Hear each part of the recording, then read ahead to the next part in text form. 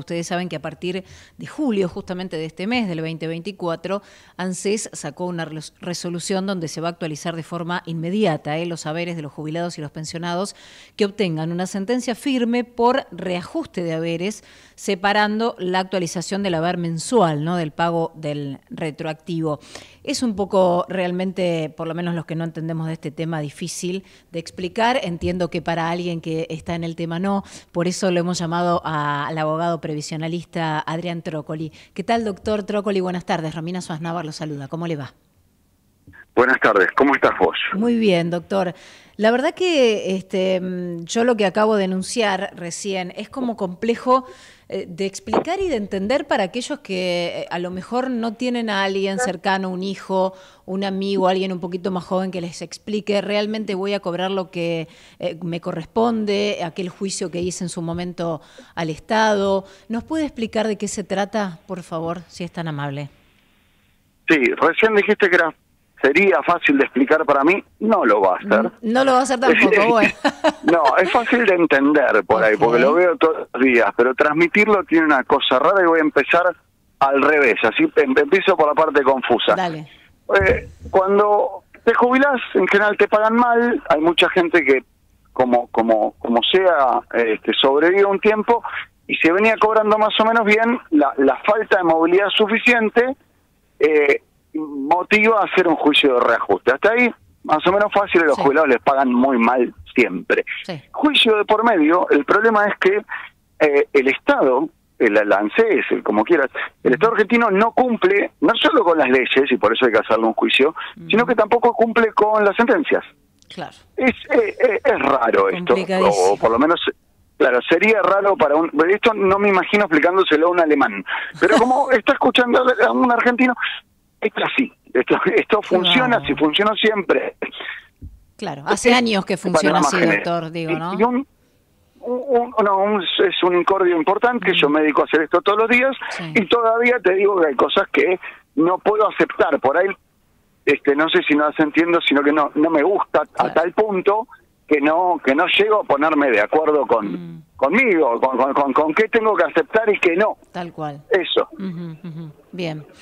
Eh, ahora, este, esta sentencia firme, ¿no? Aquellos que le han hecho un juicio, que la Corte dice, bueno, sí, le corresponde, eh, supuestamente ahora van a empezar a cobrar tanto jubilados como pensionados lo que realmente les corresponde, o esto no es tan así y tiene alguna letra chica, doctor? Bueno, a ver, como te decía, haces el juicio. Una vez que haces el juicio tenés que esperar a que te paguen. Sí. Eh, y lo que dice eh, las sentencias no es un monto definido, sino que le ordena al ANSES hacer una cuenta. Y ahí es donde ANSES nunca llega a hacer la cuenta eh, y, hacemos lo que llamamos técnicamente una ejecución de sentencia, que es en definitiva ponerle un valor a la sentencia, ponerle, decirle, en vez de, eh, de pasamos de que le dicen que tiene que hacer un cálculo a decirle deben tanta plata. Esta es la, la lógica del, del sistema. Que, que no es que no está bien, bueno, tampoco lo cumplen. Entonces, eh, y ahí se producen como dos efectos, y esto es lo que se desdobla. Primer efecto, eh, debería venir un ajuste del haber, imagínate alguien que cobra, no sé, 300 mil pesos, eh, debería pasar a 600 mil, para decirte un número muy muy redondo, entonces le deben 300 mil pesos por año, un juicio fácilmente te demora 6, 7, 8, 9 y 10 años, entonces tenés que acumular esos 300 mil por, por, por cada mes, son eh, 3 millones de pesos por año, números redondos. Después de 10 años le deben 30 millones de pesos. también todo muy en el aire porque no importa porque no hay un caso típico. ¿Ok? Bien. Pero eh, entonces te deben ajustar el haber para adelante y pagarte todo lo que te deben de retroactivo. Bueno, lo que decidió el gobierno ahora, y ahí llegamos a la introducción de la nota, recién estamos recién llegamos, lo que decidió el gobierno ahora es, separar este este este pago. Primero, va a ajustar el haber, sí. te va a pagar a partir de, vamos a decir una tontera, el mes que viene, el haber que te corresponde, pasás de esos 300 o 600 mil pesos, y eh, el retroactivo, lo que te deben, esos 30 millones que tiramos ahí en el aire, eh, te lo va a pagar en algún otro momento. ANSES acumula 90 y pico de miles, 92 mil, dice, 92 mil expedientes con sentencia firme. Esto significa, hay 92 mil jubilados que hicieron un juicio y que están esperando que le paguen desde hace más de seis meses, que es el mm. plazo que tiene ANSES para pagar. Pero contó los ceros el director ejecutivo de ANSES que tenía juicios esperando para el pago desde hace 10 años.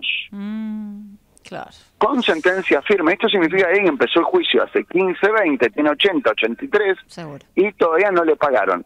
Esto es el, este es el disparate con el cual estamos en la Argentina. Entonces, la buena noticia es, ANSES prometió no en forma inmediata. Vos dijiste inmediata, inmediata es para un abogado, no para un jubilado. Ah, para nosotros, que, que, a nosotros nos digan que pagan en seis meses es mañana. Claro, entiendo. Eh, ANSES arranca a pagar, esto para la gente que me está escuchando. Exacto, para que quede claro, sí. Pongámosle un poquito de seriedad. Primero, no llame a su abogado corriendo, lo más importante porque no, no tenemos demasiada información en este momento. El operativo va a empezar en septiembre. No hay que hacer nada, no hay que ir a la a pedir nada. no Eso no, no, hay nada para hacer. Hay que esperar que le paguen. ¿Cuánto hay que esperar? Los más viejos, los que tienen sentencia, no que el juicio lo iniciaron, sino que tienen sentencia firme. Desde hace más de eh, más viejo, más de cinco años, digamos, seis, van a empezar a cobrar entre septiembre a fin de año. Y el resto, los más eh, los menos viejos, los que no tienen tanto, tanto tiempo, van a estar cobrando a lo largo del año que viene. Este es el primer grupo, los que tienen sentencia firme ya atrasada. Perfecto. Al mismo tiempo, ANSES prometió que no se iban a demorar con los nuevos juicios. O sea, alguien que tuvo sentencia firme, digamos, en febrero de este año, bueno, quizás a fin de año cobre. O, o el, el, que tuvo sentencia firme en abril, bueno, a fin de año tendría que cobrar porque lo que no quieren es que nadie haya con atraso. Primero el stock, pero al mismo tiempo no, no van a generar que los nuevos juicios se atrasen. Hasta acá todas buenas noticias. ¿Te imaginas que tengo alguna cosita para agregar? Sí, no, claro, la letra chica estábamos esperando, a ver. La letra chica, dos cosas. La primera, eh, esto genera un atraso en el pago del retroactivo. Yo recién tiré un número en el aire, 30 millones de pesos. Eh, no es poco común, es, cosa de todos los días ver un relativo de estos montos. Y lo que, te doy un ejemplo, un número concreto que me acuerdo de memoria, el año pasado la inflación fue 211%. Sí. Y la tasa de interés que le reconocen al ANSES, que tiene que pagar la ANSES en la sentencia, fue de 105. Mm.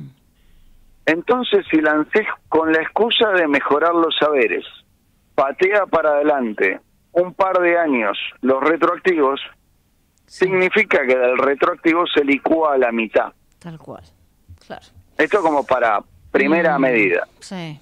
Segunda, ANSES siempre liquidó todas las sentencias mal. Pero perdón si me está escuchando alguno de los ANSES y se ofende por el siempre todas.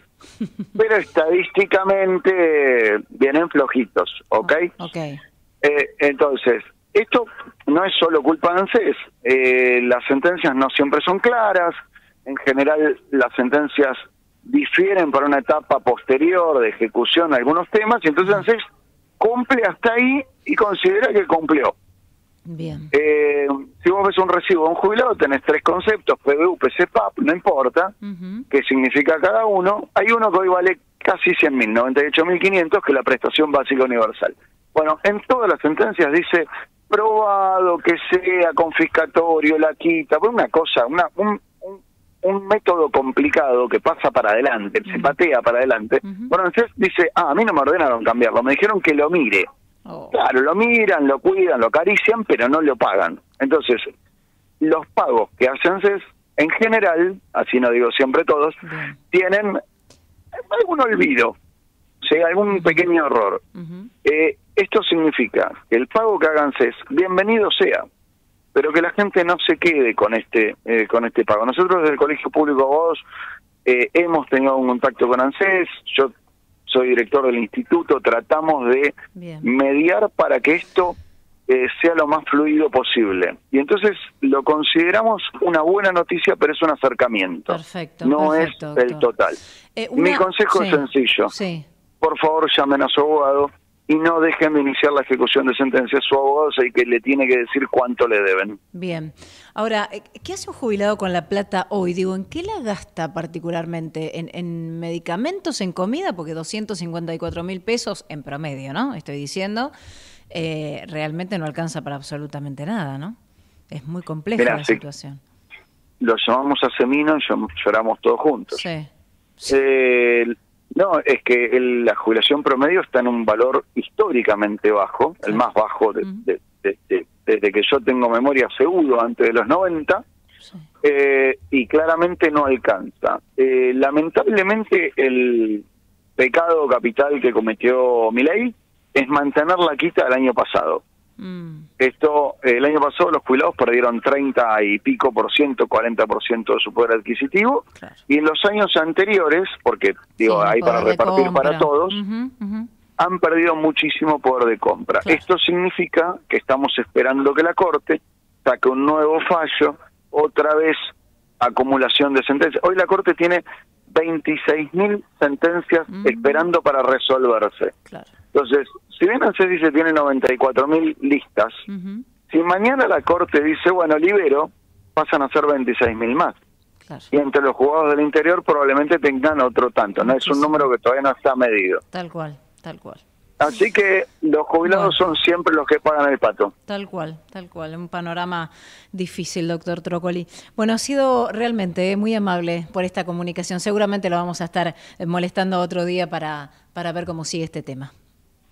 Por ahora, a esperar, esto es una buena noticia, pero por favor que los jubilados y los que tienen un pariente jubilado no se quede conforme con este pago porque probablemente este sea una mejora, pero no es lo que le corresponde. Bien, bien, ha quedado claro. Muchísimas gracias, doctor. Que tenga buenas tardes. Gracias a ustedes por la oportunidad. Saludos. Hasta luego. Hablábamos con el doctor Adrián Trócoli, abogado previsionalista.